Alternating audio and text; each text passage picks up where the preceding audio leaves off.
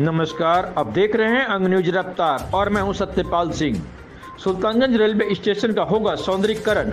अजगैबीनाथ धाम की तरफ़ बनेगा स्टेशन।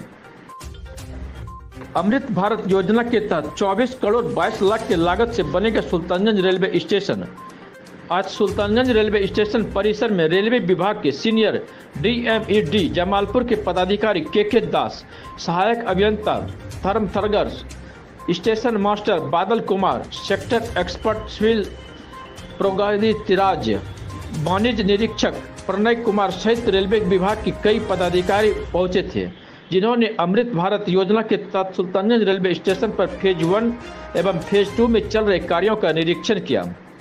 तत्पश्चात प्रेस कॉन्फ्रेंस का जानकारी देते हुए कहा कि अमृत भारत योजना के तहत सुल्तानगंज रेलवे स्टेशन का सौंदर्यकरण का कार्य फ़ेज़ वन का लगभग पूरा हो चुका है।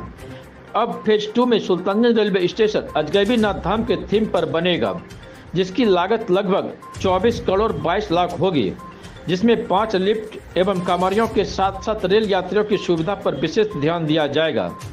इस दौरान रेल विभाग के कई अधिकारी एवं कर्मचारी मौजूद थे।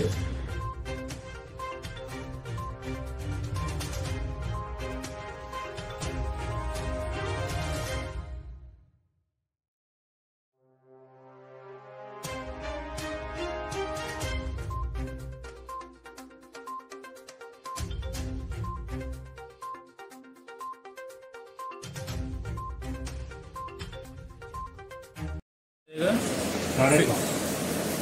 फ़ेज़ वन काम है।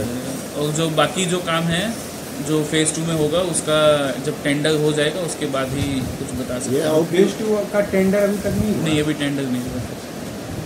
अभी कितना प्रतिशत काम हो गया फ़ेज़ वन का? फ़ेज़ वन का सेवेंटी फाइव परसेंट काम हो चुका है। वेटिंग हॉल हैं मेल फीमेल वो सब कंप्लीट हो गए हैं। असेंबली हॉल है वो 95 परसेंट कंप्लीट हो गया अराइवल ग्रो है वो 75 परसेंट हुआ है अभी और जो फसाड का काम है, वो 50 परसेंट